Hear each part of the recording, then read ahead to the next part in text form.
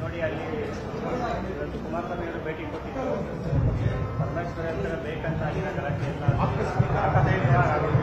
ಈಗ ನಾನಿಷ್ಟೇ ತಮ್ಮ ಗಮನಕ್ಕೆ ತರೋದು, ಈಗ ಕಳೆದ ವರ್ಷ ನಾಗಮಂಗಲದಲ್ಲಿ ಗಣಪತಿ ಬಿಡೋ ಟೈಮಲ್ಲೇ ಈ ಘಟನೆ ನಡೆಯೋದು ನಿಜವೋ ಇಲ್ಲವೋ ಹೇಳಿ ಸರ್. ನೀವೇ ಮಾಧ್ಯಮದಲ್ಲಿ ಹೇಳ್ತಾ ಇದ್ದೀರಿ ಘಟನೆ ನಡೆದು ಇವತ್ತು ಈ ವರ್ಷ ಇದಾಗುತ್ತೆ ಅಂತೇಳಿ ಒಂದು ಬಂದೋಬಸ್ತ್ ಮಾಡ್ಬೋದಾಯ್ತಲ್ಲ ಅಲ್ಲಿ ಬಂದೋಬಸ್ತ್ ಮಾಡಿ ಅಲ್ಲಿ ಏನು ಒಂದು ಸಮಾಜ.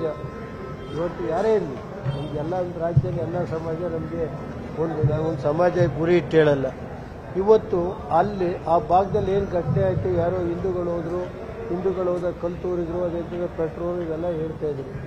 ಅಲ್ಲಿ ಸರಿಯಾದ ರೀತಿ ಪೊಲೀಸ್ನರಲ್ಲಿ ಬಂದೋಬಸ್ತ್ ಮಾಡಿ ಕಳೆದ ವರ್ಷ ಆಗಿತ್ತು. ಆಗಿದ್ದ ಘಟನೆನ ಇದ್ದರೆ ಅಲ್ಲಿ ಬಂದೋಬಸ್ತ್ ಮಾಡಿ ಬಿಗಿಯ ಪೊಲೀಸ್ ಹಾಕಿದ್ರೆ ಈ ಘಟನೆ ಆಗುತ್ತೆ ಸರ್. ಯಾವುದೋ ಕುಟುಂಬಗಳು ಇವತ್ತು ಬೀದಿ ಪಾಲಾಗಿದೆಯಲ್ಲ, ಯಾರಾದರೂ ಅದು ಚಿಂತೆ ಆಮೇಲೆ ಬೇರೆ ವಿಷಯ. ನೀವು ನೋಡ್ತಾ ಇದ್ದೀರಿ ಈಜಂಗೆ ಪೆಟ್ರೋಲ್ದು ಎಂಥದ್ದು ಬಾಂಬು. ಇದು ನಾವು ಈಗ ಈಚೆ ನೋಡ್ತಾ ಇರೋದು ಇವೆಲ್ಲ. ಒಂದು ತಾಲೂಕು ಕೇಂದ್ರದಲ್ಲಿ ಪೆಟ್ರೋಲ್ದ ಇದಾಕಿ ಬಾಟ್ಲಿನಲ್ಲಿ ಹೆಚ್ಚೆ ಒಡೆದು ಇದು ಮಾಡ್ತಾರೆ ಅಂದರೆ ಆ ಘಟನಾವಳಿಗಳು ನೋಡಿದ್ರೆ ನೀವೇ ಮಾಧ್ಯಮದಲ್ಲಿ ನೋಡ್ತಾ ಇದ್ದೀರಿ. ಇದನ್ನು ಪೂರ್ತಿ ಅಲ್ಲಿ ಏನಾದ್ರು ಇವತ್ತು ಈ ಘಟನೆ ಈ ದುರಂತಕ್ಕೆ ಕಾರಣ ಇದ್ದರೆ ಪೊಲೀಸ್ ಇಲಾಖೆ ಅಂತ ಹೇಳಿದ್ರು ಪೊಲೀಸ್ ವೈಫಲ್ಯದಿಂದ ಇವತ್ತು ಬಡ ಕುಟುಂಬಗಳು ಬೀದಿ ಪಾಲಾಗಿದೆ.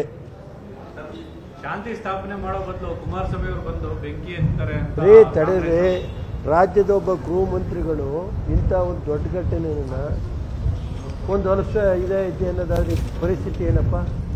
ರಾಜ್ಯದ ಗೃಹ ಮಂತ್ರಿಗಳೇ ಈ ಮಟ್ಟಕ್ಕೆ ಕೇಳೋದಾದ್ರೆ ಪರಿಸ್ಥಿತಿ ಏನಿದೆ? ಇವತ್ತೇನಾಗಿದೆ ಅಂದರೆ ಅದನ್ನು ನಾನು ಇನ್ನು ಹೆಚ್ಚಿಗೆ ಹೇಳಕ್ಕೆ ಹೋಗಲ್ಲ. ನೀವೇ ಅರ್ಥ ಮಾಡಬೇಕಾಗುತ್ತೆ. ಲಾಸ್ಟ್ ಇಯರ್ ನಡೆದಿದೆ ಘಟನೆ. ಘಟನೆ ನಡೆದಿರೋ ಜಾಗದಲ್ಲಿ ಇಂಥ ಘಟನೆ ಆಗುತ್ತೆ ಅನ್ನೋದೊಂದು ಅವರಲ್ಲಿ ಇದಿಲ್ವ ಸರ್? ಎಸ್ ಎಸ್ ಪಿ ಕಾನ್ಸ್ಟೇಬಲ್ಗಳು ಪ್ರತಿ ಇದರಲ್ಲಿ ನೋಡ್ತಾ ಇರಲ್ಲ ಇನ್ಫಾರ್ಮೇಷನ್ ತಗೊಳ್ಳಲ್ವಾ ಸರ್ಕಲ್ ಇನ್ಸ್ಪೆಕ್ಟರ್ ಎದುರುಗಡೆನೇ ಆಗುತ್ತೆ ಅಂದ್ರೆ ಅರ್ಥ ಅಲ್ಲಿಗಾರ ಹೇಳಿ. ಅದು ನಿಮಗೆ ಬಿಡ್ತೀನಿ ಸರ್ ಅಷ್ಟೇ ಮಾಧ್ಯಮದ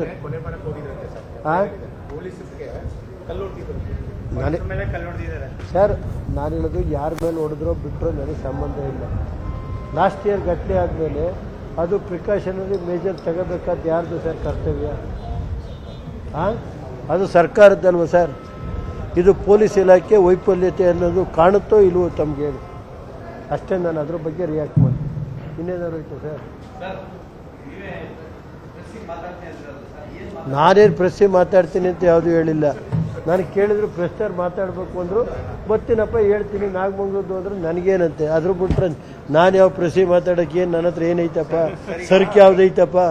ನನಗೆ ನೀವೆಲ್ಲ ಬರುವಾಗ ಹಿಂಗೆ, ಅಲ್ಲಮ್ಮ, ಇವ್ರು ಕೇಳಿದ್ರು, ಸರ್, ಒಂದು ನಿಮಿಷ ಮಾತಾಡಿದ್ರು ಕೇಳ್ತಾರೆ ನಾಗಮಗ್ ಅದಕ್ಕೆ ಹೇಳಿದೆ ಅದರಿಂದ ನಾನು ಹೇಳಿದೆ.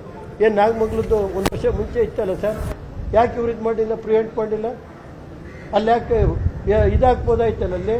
ಒಂದು ಕೋಮು ಇದಿದೆ ಅನ್ನೋವಾಗ ಇನ್ನು ಇಂಟೆಲಿಜೆನ್ಸ್ ಇಲ್ವ? ಅಲ್ಲಿ ಕಲ್ತು ಕಲ್ಲಿಟ್ಕೊಂಡಿದ್ದು ಕಲ್ಲು ಎಲ್ಲ.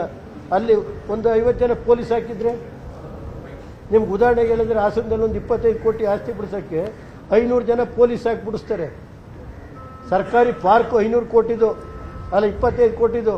ಐನೂರು ಜನ ಪೊಲೀಸು, ಹತ್ತು ಜನ ಸಬ್ ಇನ್ಸ್ಪೆಕ್ಟ್ರು ಎರಡು, ನಾಲ್ಕು ಜನ ಡಿ ಎಸ್ ಪಿ ಹಾಕಿ ಪ್ರೊಟೆಸ್ಟ್ ಕೊಡ್ತಾರೆ. ಇಂಥವು ಮಾಡೋಕ್ಕೆ ಏನಾಗಿರೋ ಸ್ವಾಮಿ? ಅಲ್ವಾ ಇವು ಸುಟ್ಟಾಕಿದ್ರಲ್ಲಿ ಏನಾಯ್ತು ಇವತ್ತು? ಪಾಪ್ತವ್ರು ಇವತ್ತು? ಬೀದಿ ಅವರು ನಿನ್ನೆ ಹೇಳ್ತಾ ಇದ್ರು, ಒಬ್ರು ಮುಸ್ಲಿಮ್ಸ್ ಹೇಳ್ತಾ ಇದ್ರು. ಅಲ್ಲಿ, ಸರ್, ನಾನೇ ಗಣಪತಿ ದುಡ್ಡು ಕೊಟ್ಟೆ, ಸರ್. ನಮ್ಮ ಅಂಗಡಿ ಸುಟ್ಟಾಕ್ಯವ್ರೆ ಅಂತ. ಇವತ್ತು ಯಾವ ಪರಿಸ್ಥಿತಿ ಬಂದೈತೆ ಅಂದರೆ, ವೋಟ್ ಬ್ಯಾಂಕ್ ರಾಜಕಾರಣ ಮಾಡೋದು ಜಾಸ್ತಿ ದಿನ ನಡೆಯಲ್ಲ. ಅದು ಮಾಡೋಕ್ಕೆ ಹೋಗಿ ಇವತ್ತು ಕಾಂಗ್ರೆಸ್ ಈ ಸ್ಥಿತಿ ಬಂದಿದೆ. ಮುಂದಿನ ಅಷ್ಟೇ ಎಲ್ಲ ಮಾಧ್ಯಮದವರಿಗೆ ನಮಸ್ಕಾರ. ಕನ್ನಡಿಗರ ಮೆಚ್ಚಿನ ನಿಮ್ಮ ನ್ಯೂಸ್ ಏಟಿನ್ ಕನ್ನಡ ಈಗ ವಾಟ್ಸ್ಆಪ್ನಲ್ಲಿಯೂ ಲಭ್ಯ. ಕರ್ನಾಟಕ ಮತ್ತು ದೇಶ ವಿದೇಶದ ತ್ರೀ ಸಿಕ್ಸ್ಟಿ ಡಿಗ್ರಿ ಸುದ್ದಿ ವಿವರವನ್ನ ನೀವು ನಿಮ್ಮ ಕೈ ಬೆರಳುಗಳಲ್ಲಿಯೇ ಪಡೆಯೋದಿಕ್ಕೆ ಈ ಕ್ಯೂ ಆರ್ ಕೋಡ್ ಅನ್ನ ಸ್ಕ್ಯಾನ್ ಮಾಡಿ. ನಮ್ಮ ಚಾನೆಲ್ ಅನ್ನ ಫಾಲೋ ಮಾಡಿ ನೋಟಿಫಿಕೇಶನ್ ಆನ್ ಮಾಡಿ.